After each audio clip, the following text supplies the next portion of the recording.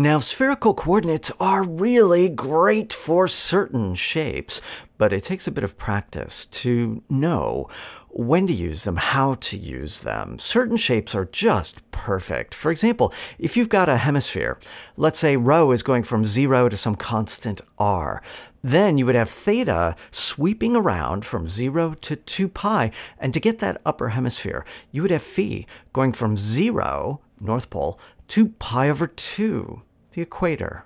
That's a good one. Let's say you want to make a cone, an infinite cone. That would be given by rho going from 0 to infinity, theta going from 0 to 2 pi, and phi going from 0 to some small number, something, let's say, less than pi over 2. And finally, for a wedge-like shape, you would have rho going from 0 to some capital R, and then theta in between, let's say, two numbers, a and b, and phi sweeping all the way from 0 to pi. And these kinds of shapes that have numerical limits, oh, they're so nice when you're trying to integrate using spherical coordinates. Now, in general, looking at slices of constant uh, phi, theta, rho values, that's going to help you with visualizing what is happening in spherical coordinates. I encourage you to do that. So, for example, if we look at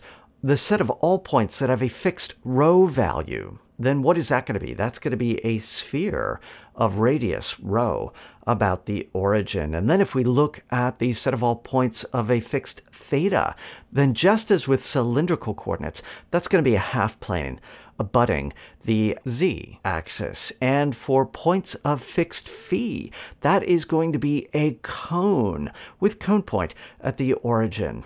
Now, in general, visualizing spherical coordinates is a little more challenging than visualizing cylindrical coordinates. You might want to take a moment, contemplate, practice, think about different examples. What happens when I fix different values of rho and theta and phi, and you'll find that in no time you're getting the idea, the geometry of spherical coordinates.